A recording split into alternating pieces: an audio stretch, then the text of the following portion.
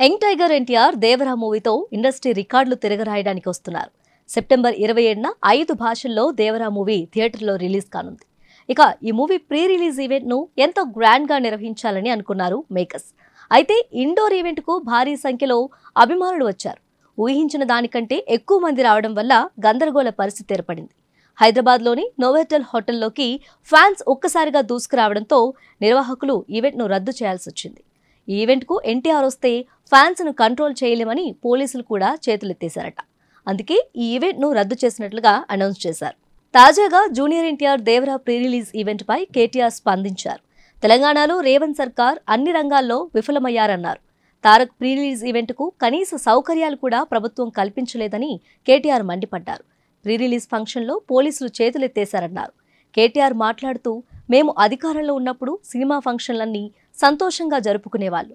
Cinema ఫంక్షన్లతో పాటు అన్ని మతాల పండుగలను సమర్థవంతంగా నిర్వహించాం.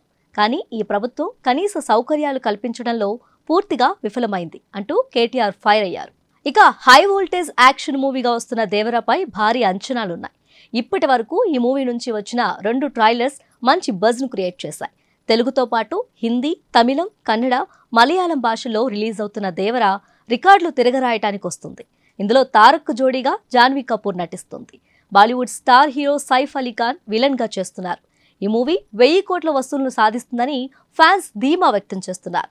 ఇక దేవరా మూవీ రెండు పాటలుగా ప్రేక్షకుల ముందుకు రానుంది.